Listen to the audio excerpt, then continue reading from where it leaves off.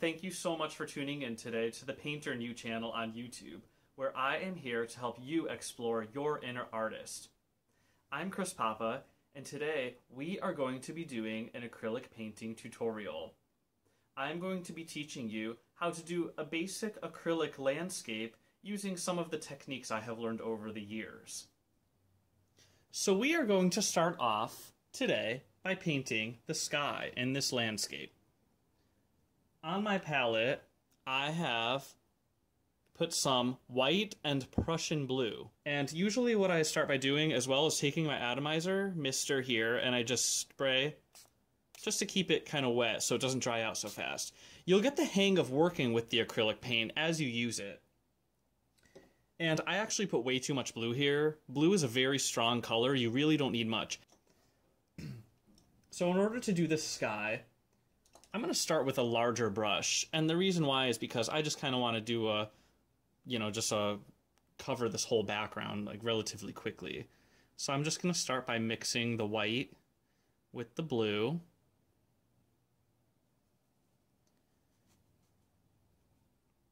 And I'm going to just kind of start scribbling this in here. And actually, I'm going to wet my palette a little more. More white. You're really using mostly white on this background. The blue is just to kind of like highlight a little. And you're going to want to do the darker, darker blue on the edges. with acrylic, you're going to find that you need to kind of use a lot of paint.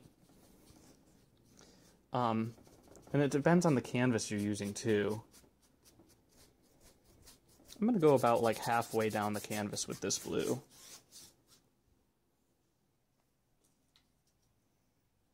I'm just kind of going all over the place. Now, if your brush strokes don't really look like perfect and you see like some of the strokes, and especially as the paint dries, don't even worry about it because with acrylic paint, your first layer is kind of a waste anyway.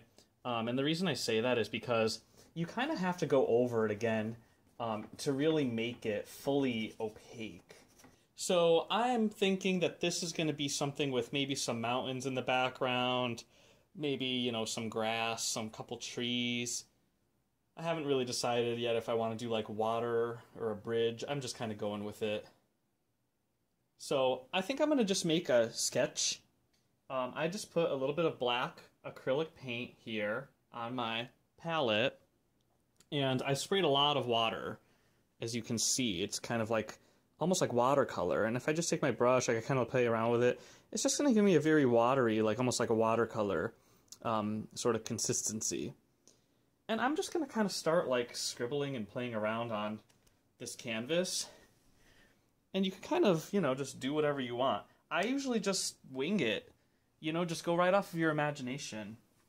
So, I'm probably going to start with some, you know, we probably want some mountains in the back. I'm going to be covering a whole bunch of different landscape things here today. Mountains, maybe a couple trees, just to give you some experience. And, you know, just be kind of random. Like here, I'm saying I want my mountain a little taller, you know, it's a little lower down here. Um, again, really just free form sketching here. Go a little higher on this one. Here I'm going to make this kind of come down here.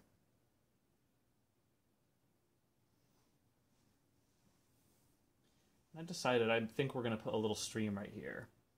So this stream starts way, way back here.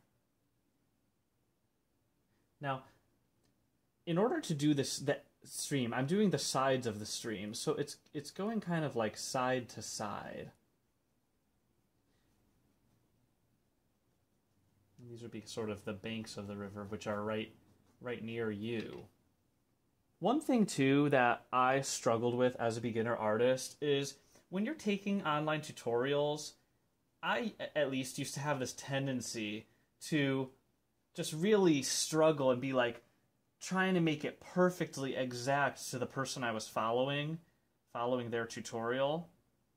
And, you know, it, t- it took me a while to realize, like, it's not always going to look exactly the same, and it's okay to make yours look different. In fact, all of your paintings off of this tutorial are going to look a little different than mine, if not completely different.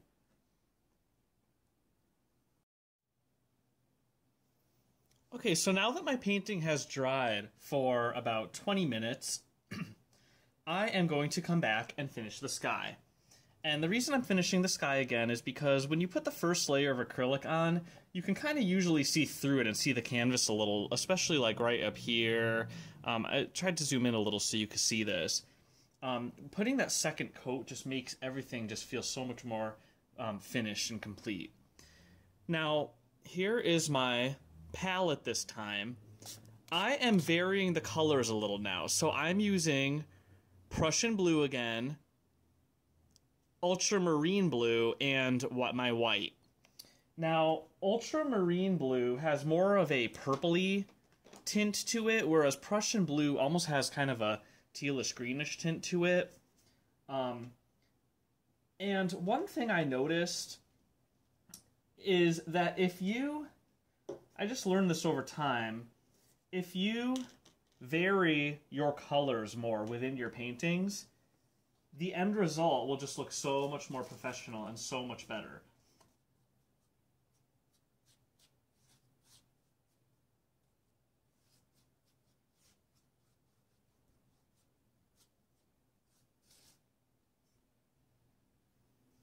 And now I'm going to do some more detailed clouds. So I'm just going into some pure white, titanium white, but this time I'm using a smaller brush, as you can see.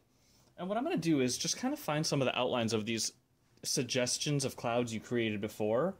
And I'm going to just start kind of by going like this and just kind of like fluffing it up.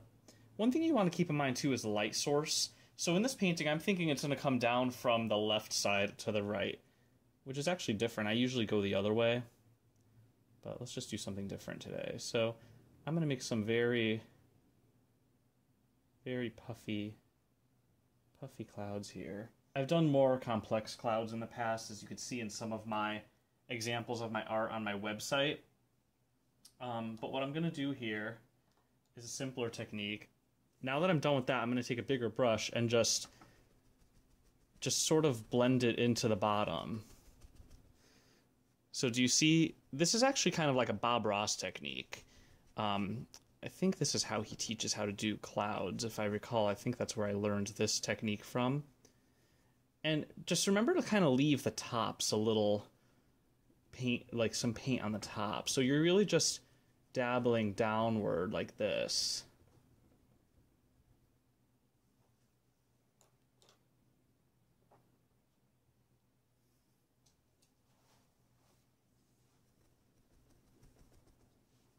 Okay, so I put a few mountains back here um, in very light green.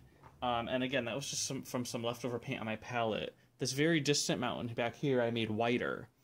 Um, just because it's very distant. So I, I kind of made the edges a little darker and in here a little white. Now I'm also going in through some burnt umber and I'm going to mix that in with this kind of green color. See, I have blue, the gold, and now I'm going to just go right into burnt umber.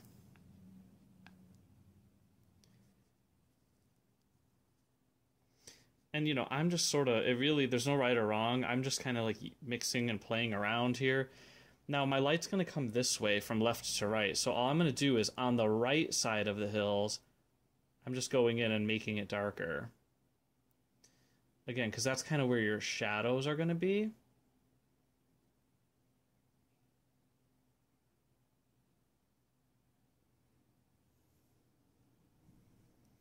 And that's okay if you paint over the light parts you already painted, um, because you can always just go back over.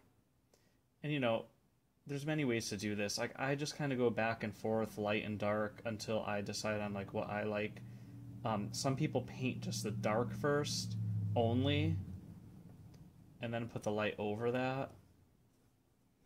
Now, burnt umber is a transparent brown, so as you can see, I'm painting over here on the on the canvas, but it's giving like a really whitish brown. So if I mix it with this green that I had, that had different whites and greens and stuff in it that were opaque, that is actually going to cover the canvas. So learning which colors are transparent and which ones are opaque um, really helps out a lot. Otherwise, your painting might look kind of like washed out, and you might not be going for that look. Okay, so here's my mixture of Mars Black, Hooker's Green, and Burnt Umber. You're going to see what I'm doing here is I'm doing much darker on this side, much lighter on this side, because this is where the light is coming from. So, over time, I have learned that the most important things in painting to keep um, in mind are number one is perspective. So that's just sort of like your how the objects objects all look in relation to one another. Number two is lighting. So learning, you know, to put your light all going in the same direction, putting where to put shadows.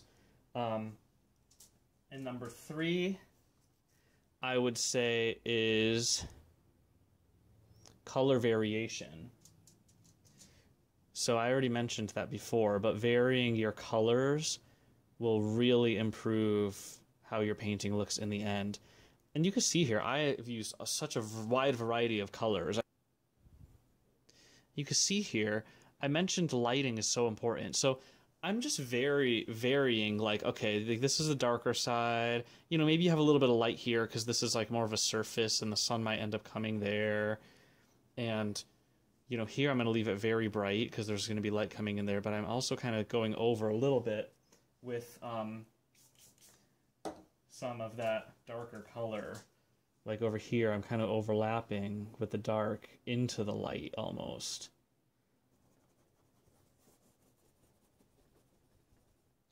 Pretty much this whole bottom is going to end up being black.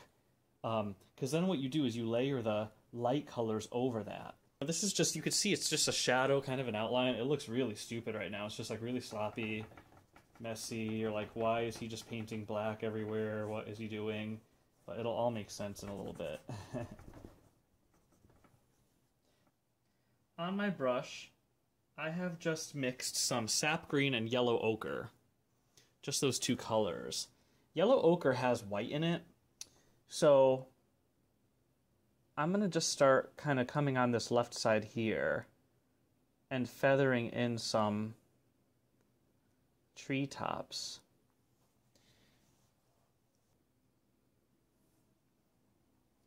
See, the more you kind of like layer your colors, the more like realistic and sharp things will look. I want this little spot here to be bright, so that will give this nice dark spot here some nice contrast. And like maybe this kind of connects down here. I kind of moved ahead a little bit here and you'll see I kind of filled in the rest of these mountains on the side here with like the black again, sort of the darker color on the side the light is, you know, not coming from. The side the light is coming from is lighter, like here and here.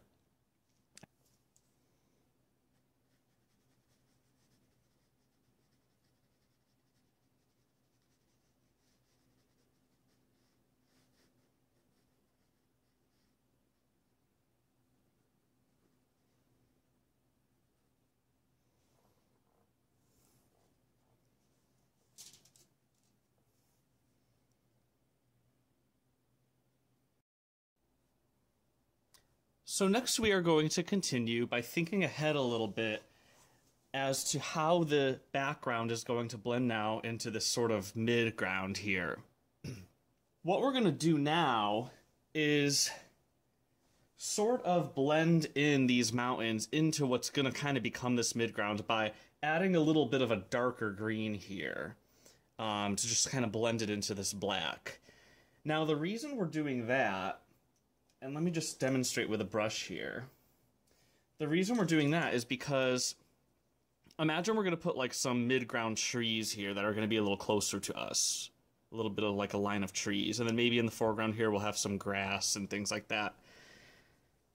In order to make the tops of the trees stand out, like see where I'm kind of tapping here? These are going to be the tops of the trees we're going to paint here. So those are going to be much lighter because the light is coming down and hitting the edges of those trees.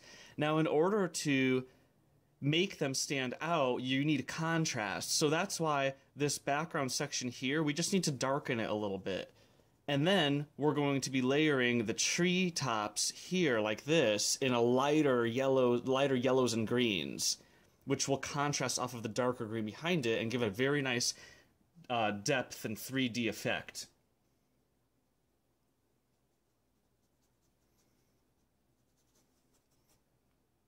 You don't have to get like too exact with this because it is going to get covered up with for with like midground and foreground trees. So I'm not really doing much like detail here.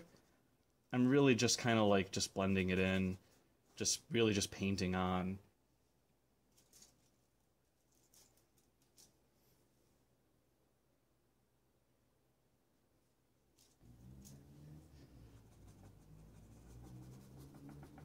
Okay, so you can see I filled in uh, the same thing on this side, darker green, kind of blended it in with the back. So you can already start to see now where the trees are kind of developing, right? This is just like some distant trees, kind of in like the midground, but you know, these are going to be the tops of the trees here. So the colors I'm using to do the tree trunks, I'll show on my palette here. Um, I am going to use, I have a little bit of black, just in case I need to darken things up. This is raw umber, which is like a dark brown, and unbleached titanium white. Now the brush I'm going to use for these tree trunks is called a dagger striper. These are really nice for drawing um, straight lines or like a tree trunk is straight vertically because of that angled slash. It almost acts like a um, script liner brush in a way. So this is just a mix of raw umber and unbleached titanium white on my brush here. And I'm just going to start with drawing right over here some trunks. Just go vertical. So I'm just going to keep going along this whole background, painting in trees. You could paint some in the distance as well, a little darker. I'm just using a darker brown now, and, you know, I'm just going to do some very faint very faint vertical lines way in the back here to give you that illusion of a forest. And actually, you may want to start by doing this. So before you start painting the foreground trees, I kind of went backwards there a little bit. Just paint some very basic dark vertical lines in there. Now over here on the edge, I want to have a tree that is actually a little taller that looks like it's closer to you. So what I'm going to do is I'm going to start up here. Because see, these trees are only this tall. But now to give a perspective that it's closer to you, you want it to go higher and end lower. And again, this is actually kind of backwards because really we should paint that background first, but I just want to demonstrate here kind of where this is going. And then, you know, you would have a larger tree like this. And maybe that one ends like way way up here, you can see how by making the bottom of the tree lower than the tree line back here and the top higher, it is looking like there's a tree that's closer to you. It's almost going to give this like it's wrapping into the foreground here.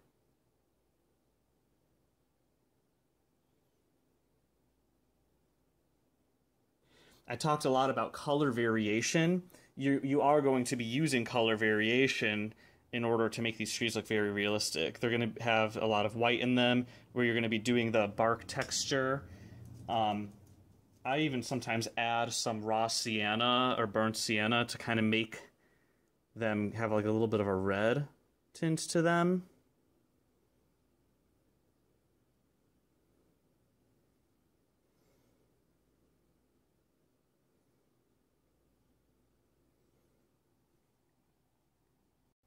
We are going to go over all of these trees again with another layer of paint. That first coat you did was more of a base coat. Now, on my palette, I have some burnt sienna, some raw umber, unbleached titanium white, and Mars black. I probably won't use the black. Um, we're actually going to be lightening up these trunks a little bit. So I'm going in again with the dagger striper brush that I was using before, and I'm going to demonstrate on this larger tree right here. Or actually, I'll do it on this one right here. What we're what we're doing. So I'm really just gonna completely highlight. That's a little little too bright. So actually, I'm gonna put a little more brown in. You're looking for a nice kind of medium tone here.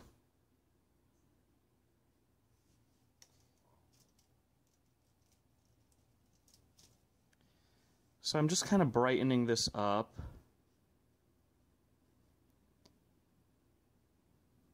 And I'm just going to fill in the entire entire tree.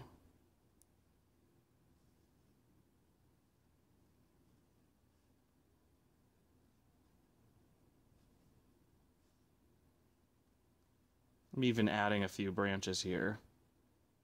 Just kind of do whatever you want.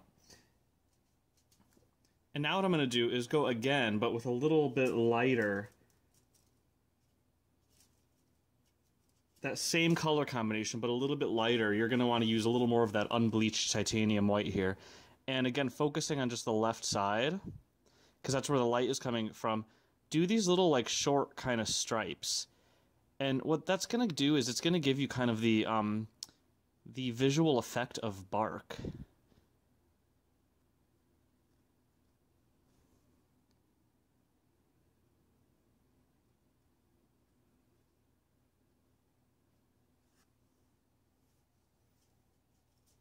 So the the whole tree still kind of looks very monotone, and you're just gonna gradually go lighter and lighter,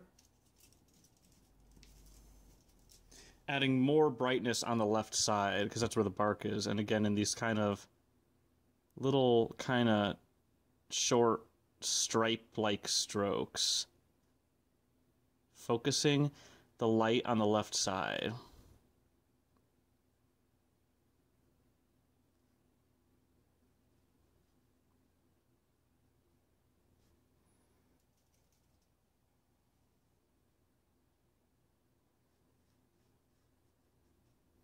So I'm just going to go through the whole painting now and highlight all these trees using this exact same method. Okay, so I went through the whole painting and I filled in the trees using the same technique as before. Kind of like I was saying before, the more you go over these trees, the better they will start to look. Like you can see this one back here, I really didn't go over it that much, so it doesn't really, it still looks kind of like a washed out sketch. But watch what's going to happen here. Like I'm going to go through that one back there just as an example with um, some burnt umber.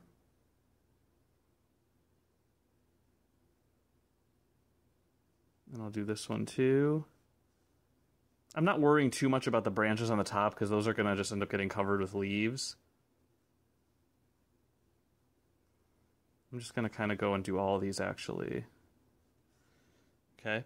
Now I'm going in with a little bit of unbleached titanium white mixed with the burnt umber just to lighten it up a little bit. And then I'm going to just sort of really carefully scribble in some highlights. And re- remember to kind of like skip little sections. So, you know, don't do like one like large brush strokes. I'm doing like these little sort of vertical, feathery kind of brush strokes to kind of give a bark texture. So now that I've gone through the painting and did all those tree trunks, we are going to have to go through and actually put in all the tree leaves on that. But before we do that, I decided now would be a good time to fill in this water here. So there are a lot of different options, and it's kind of up to you what colors you want to use for your water. I uh, personally like to make my water kind of a like a murky teal color. So on my little aluminum foil palette here, I have, again, the Prussian blue, titanium white, and burnt umber.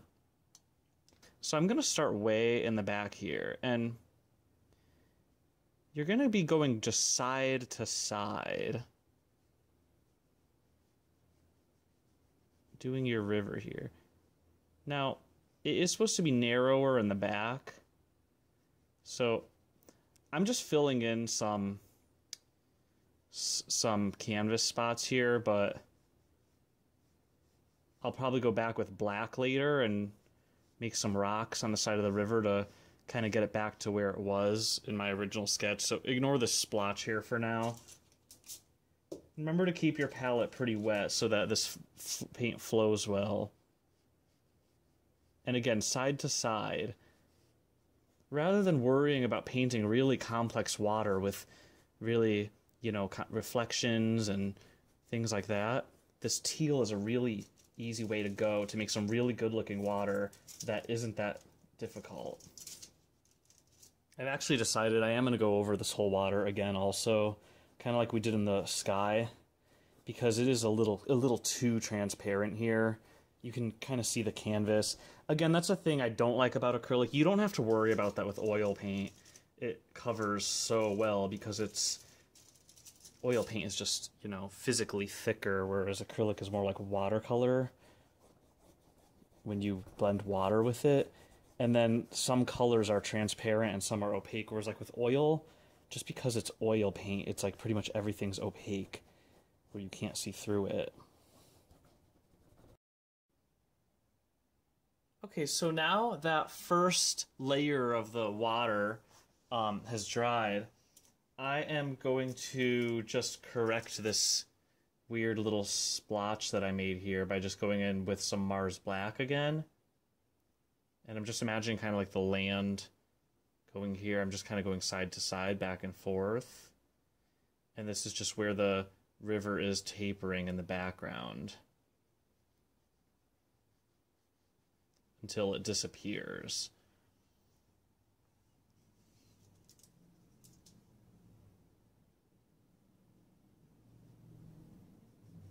So now I'm going to just go through this whole water and do a second coat of paint.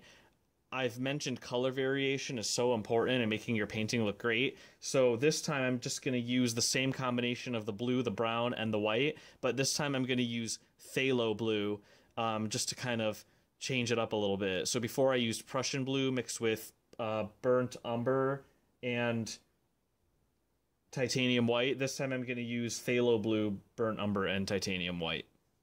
Now the, the background of this water is going to be lighter. I'm just kind of going through real quick right now just to get a second coat, but then I am to actually kind of go through again and do like highlights in white and waves and things like that.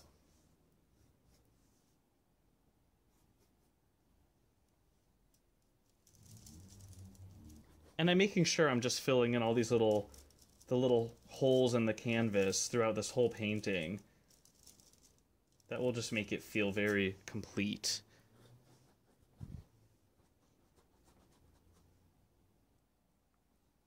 As I'm getting towards this water here more in the foreground, I'm using more and more brown and blue and less white. Um, because the closer it is to you, the darker it should be. And I'm going to start again way in the back. I think I need more white the, again, the the distance is going to be a lot brighter and lighter. The surface of the water. You know, imagine that that's reflecting all the light coming off of the sky. So I'm going to go way back here with this kind of bright teal, and just kind of go over again. But this time you don't have to like paint the entire thing. Um, you're just kind of adding some highlights really and kind of doing this back and forth motion this is going to kind of look like some waves now. And actually, feel free to kind of, you know, move your brush kind of up and down a little bit to give the little these little effects of like wave ripples. That's really what this is. You're highlighting waves and rapids and things like that in this little little brook.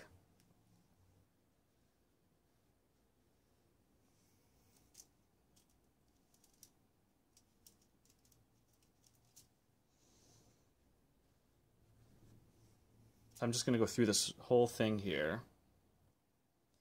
Again, I can't emphasize this enough. The closer you get, the further apart your waves should be. So see, I'm leaving a gap here between the light and the dark.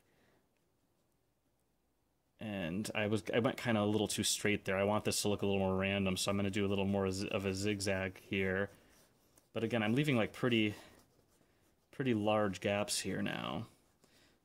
Repeat the exact same thing we just did, and again, just bright with brighter this time. So you're going to see here how this is really going to come to life, and again, just kind of skipping around, being random. I'm going to put a lot more white right here coming out at the base of that rock. It's almost like, it makes like a water line of, say, like where waves are kind of crashing around along rocks here on the edge. And I'm going to kind of do that here too. Like this is like a water line. And that's looking really good.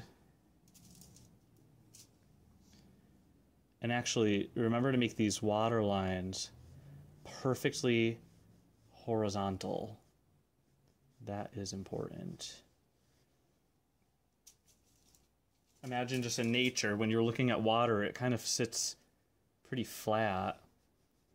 So I'm kind of going in now from the edge here and then going out into the water to make kind of a water line. I'm going to do the same thing here. Because imagine we're going to be painting kind of like rocks here, and there's going to be water kind of crashing against them. Now I'm going again further apart here.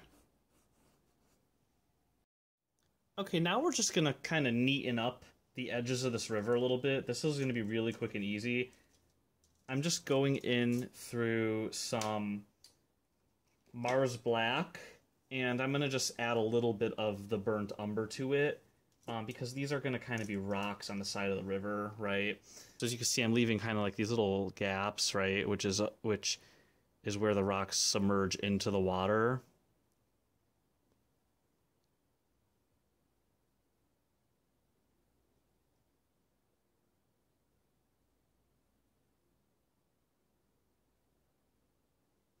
And just pay attention to the perspective here. Like as you're doing that, you want to make sure that the width of your stream stays kind of like appropriate.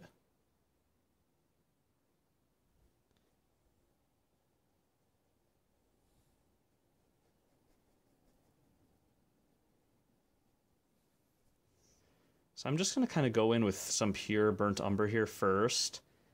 And it's going to kind of just give me some direction as to where my rocks are going to go.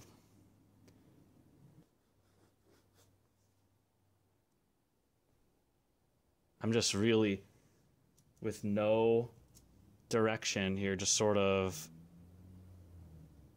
going back and forth and kind of contouring against this these slopy little hills I'm making, which kind of slope down into the river here.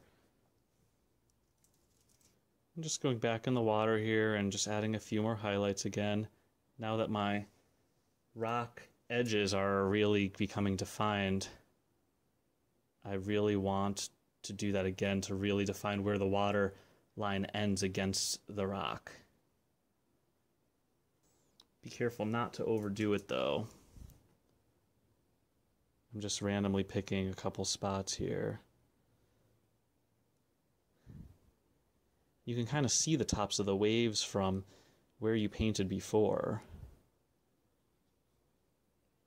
Next, we're going to quickly go through all these rocks and just give them some highlight. So what I'm going to do is just highlight kind of on these outer edges and just sort of keep working with it. I'm using raw sienna, uh, burnt umber, Mars black, and titanium white. Remember to alternate light and dark. You'll see here I did like a lighter area but then behind that, I left a dark area. Now I'm going to skip again and do a lighter area. And that will give you the good like depth perception of like layers and layers of rocks all on top of each other.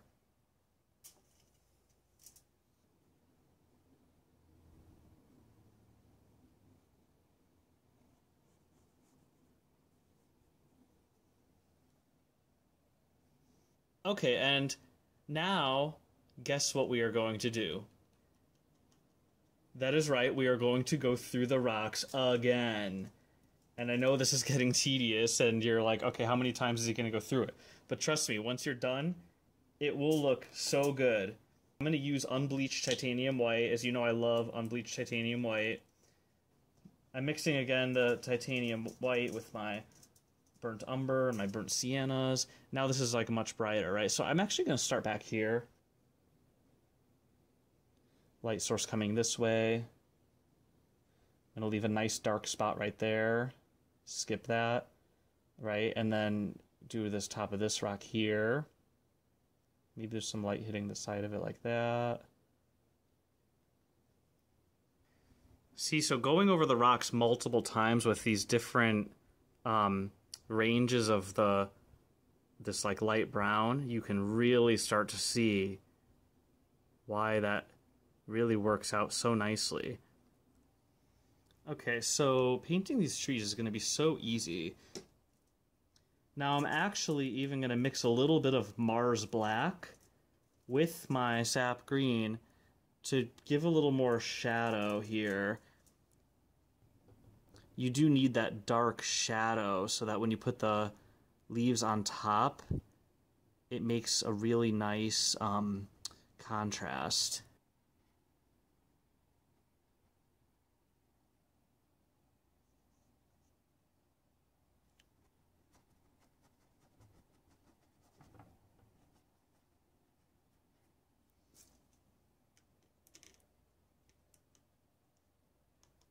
Again, just remember your light source is the left side. You can even go in with some lighter green if you would like, like I just did.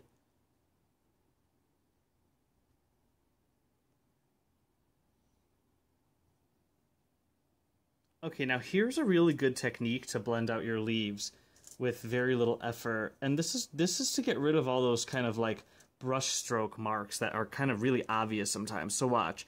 I'm going to do the outer edge of this tree right here, right?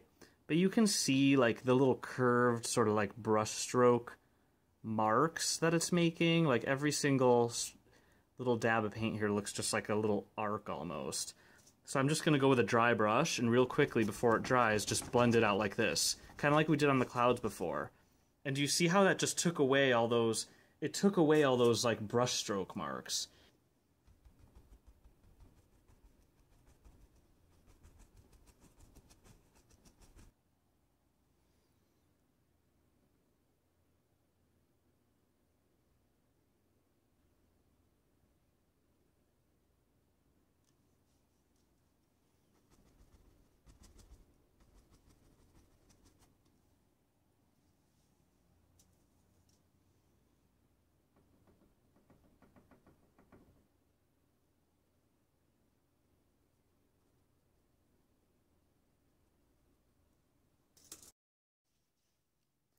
Okay, so I went ahead and I did the rest of the trees on the left side of the painting. Now we are going to add some grass, and this is going to start to make the painting look a lot more um, complete. Okay, so I'm starting with some different colors on my palette now, and I'm using the Hooker's Green again, and this time I'm going to vary the green a little bit by using a little bit of cadmium yellow and burnt sienna mixed in with it the brush I'm going to use is this kind of rough um, hair brush here. I get these in, they sell them in any craft store or even like department stores and like large bins in the craft section. So it's kind of like a multi-purpose brush and it's great for grass because it has these rough ends. You want to probably stay a little darker here because again, this is kind of like shielded by the trees um, and getting less less highlight.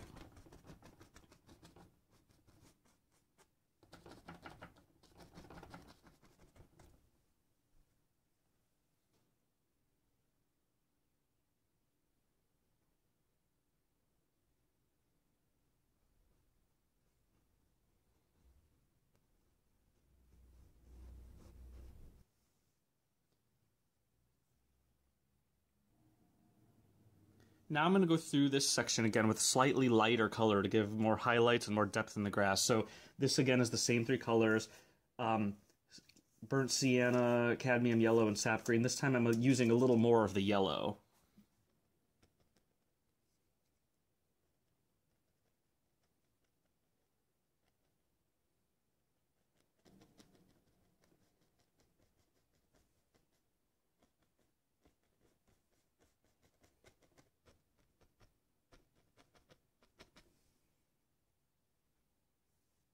Okay, now that was our initial coat of the grass, but next we're going to do some much more detailed blades of grass that are going to look like they are coming closer towards you.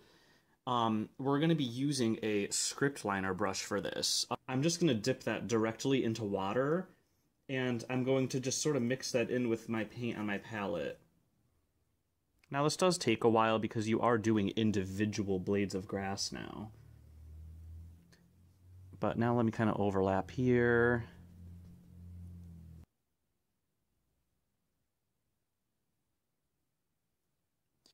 Now I'm doing the other side of the painting using the same technique.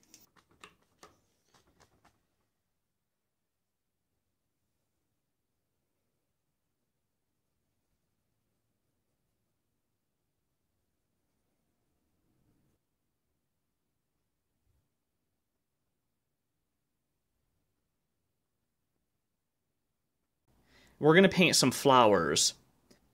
So I'm going to start with the white and just put some of that pure titanium white right onto this round brush. And the round brush is going to allow us to sort of dot in some flowers. So what I mean by that, I'm going to start in the back here, making small dots. So all I'm going to do is just dot, dot, dot, dot.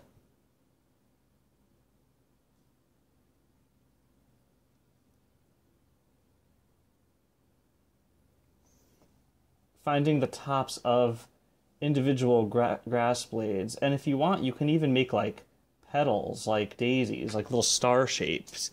The closer you get, the more detailed you want to get. So that's completely fine. I'm actually going to go ahead and do that. So you can see here, this is kind of like a, a daisy. Now notice as I'm making them larger as you get closer. So watch, this one's going to be pretty large. And also keep in mind the perspective, like the daisies, they're like flat discs. So this is almost more of like an oval shape. As you can see here, I made this like more of an oval. Here, I'll do another one.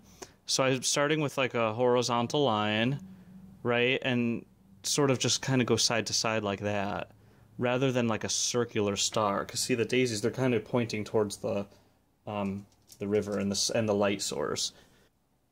Now we're going to give a really cool effect here we're going to have one that is like going off the canvas and it's very close to you. So watch, I'm going to make it very big.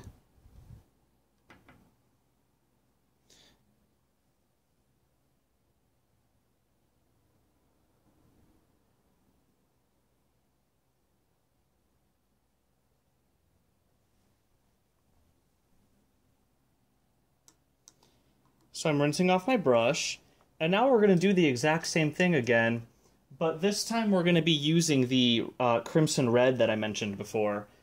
And we're not going to do as many as the white. We just want these to be some...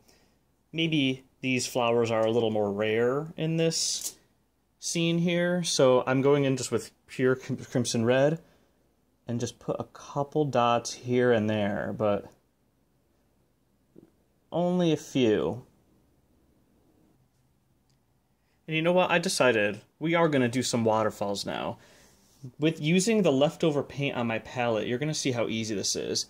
So I'm going to start with the filbert brush again, and I'm going to just go into the white. Now what we're going to do is we are going to basically outline where the tops of the waterfalls are going to be. Now, this is kind of like sketching in a way. So what I'm going to do is I'm going to just go perfectly horizontally. With just the pure titanium white.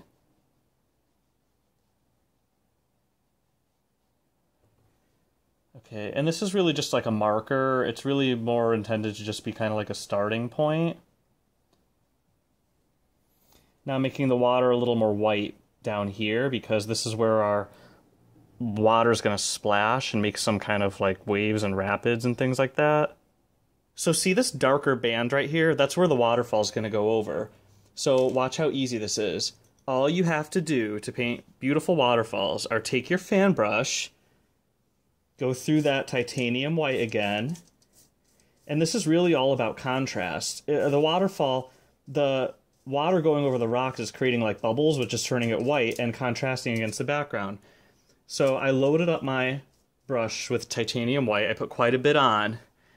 And let's do this larger one first, just so you could see. I'm going to kind of go where I drew my reference lines, again, horizontally, and then just go straight down, like this. Okay? And do that all over the place. Now here, I had the top coming down a little further, so I'm going to just go straight, straight down. And make sure you leave some of the darker water behind it. Again, the waterfall is just contrast. Now, with the extra paint on your brush, um, just kind of go like that to make some ripples and waves and stuff in the water. And then you can just go through with a dry brush and just scribble it out.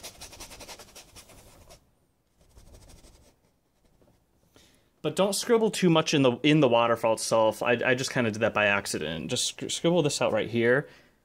And actually, I'm going to go in with the dry brush into just a little bit of the titanium white. And then you can just go like this and make some mist.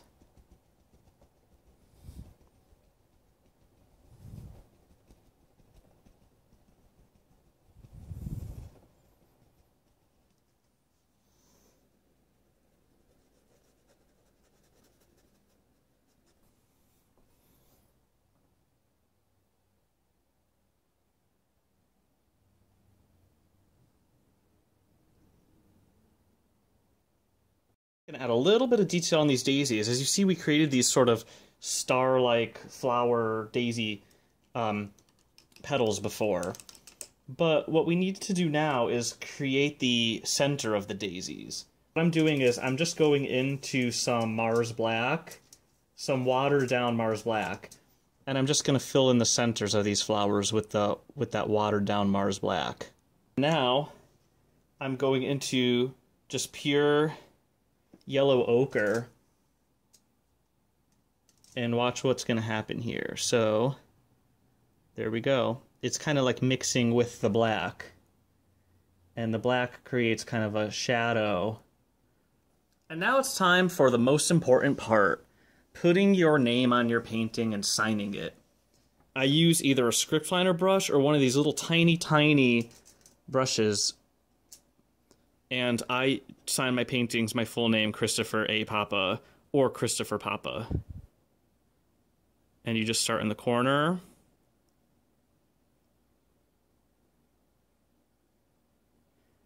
I do mine in cursive. You can sign it however you want. There's no rules here.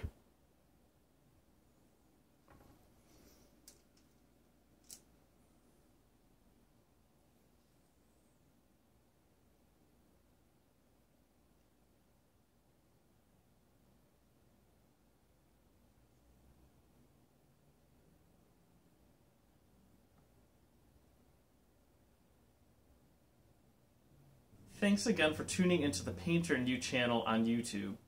This painting took me about four hours total, and I just did a little bit at a time over a period of about four days. You'll find that with painting, you have to be patient, and you don't necessarily have to do the whole thing in one sitting. This is a relatively new channel, so I definitely advise you to subscribe, and I will be posting more videos soon. In addition, I am also starting a new Facebook group and would love to see your versions of this painting posted on that Facebook wall. So I'm going to be putting a link down in the description, and I look forward to seeing your posts.